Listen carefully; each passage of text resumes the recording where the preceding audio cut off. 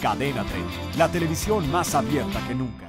Por cierto, el próximo lunes 19 de noviembre suspenderán operaciones en la Bolsa Mexicana de Valores. También los bancos y las instituciones financieras de todo el país por el puente de aniversario de la Revolución Mexicana. Solo van a atender las sucursales bancarias que se encuentran en los supermercados en su horario normal. El servicio, en cuanto al servicio del metro, el lunes operará en sus 195 estaciones con el horario de domingos y días festivos, es decir, de 7 de la mañana a la medianoche. En tanto, el tren suburbano también ofrecerá servicio de día festivo de 7 de la mañana a las 12.30 horas del día siguiente, con frecuencia de paso entre trenes cada 15 minutos. Entérate de los últimos acontecimientos de México y el mundo en Cadena 3 Noticias.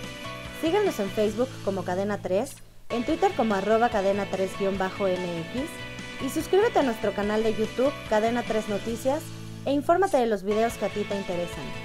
¿Quieres ver más? Te recomendamos estos videos.